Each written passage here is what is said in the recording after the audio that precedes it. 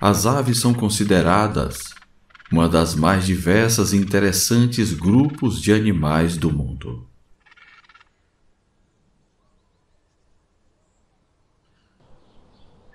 Com destaque para os tucanos, que são aves extremamente lindas e com uma ameaça constante a extinção completamente de suas espécies.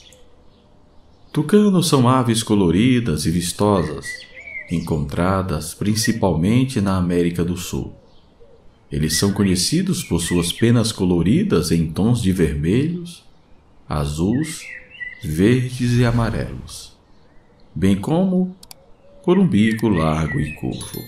Vivem em grupos sociais e se alimentam principalmente de frutas, mas também podem comer insetos, sementes e pequenos vertebrados.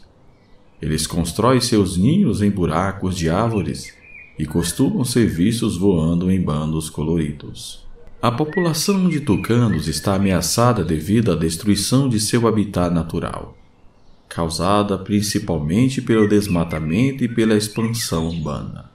Além disso, tucanos também são caçados por suas penas, que são utilizadas em artesanatos e ornamentos.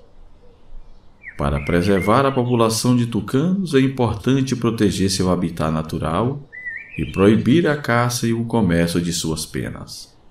Além disso, programas de conservação e reabilitação podem ajudar a aumentar a população dessa espécie encantadora.